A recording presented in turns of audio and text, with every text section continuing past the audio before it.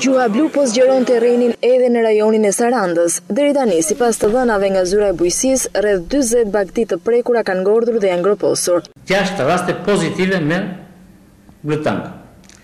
Këto janë të në komunën e Lukovës, në komunën e Xarrës, në komunën e Livadhjas dhe në komunën e në bashkinë e Konispolit. Çdo ditë fermerët, jo më një e dy, por nga dhjetë, pesëmbëdhjetë dhe njëzet fermerë na informojnë për rastet që kanë. Numri i të imtave që mbarështohen në rrethin e Sarandës është njëqind e njëzet mijë krerë. Aktualisht, kafshë të rrezikuara nga gjuha blu në ato zona ku është shfaqur kjo sëmundje janë rreth shtatëdhjetë mijë. Këto nuk janë kafshë të sëmura, por nga ana teknike specialistët e bujqësisë i konsiderojnë të rrezikuara.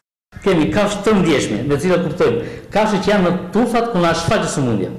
Gjithsej janë pesë mijë e treqind e tetëdhjetë të leshta deri sot, treqind e gjashtëdhjetë e tetë të dhirta dhe dyzet e dy gjedhë.